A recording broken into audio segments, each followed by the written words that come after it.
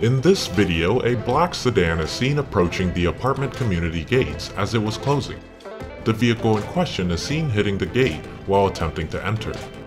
The vehicle's license plate came off and got stuck on the gate. Moments later, a maintenance employee is seen retrieving the license plate and walking towards the leasing office.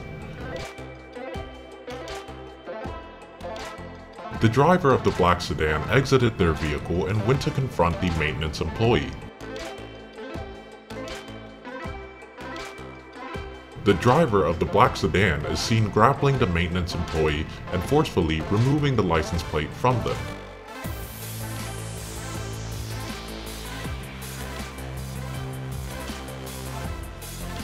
The driver gets back in their vehicle and continues into the apartment property.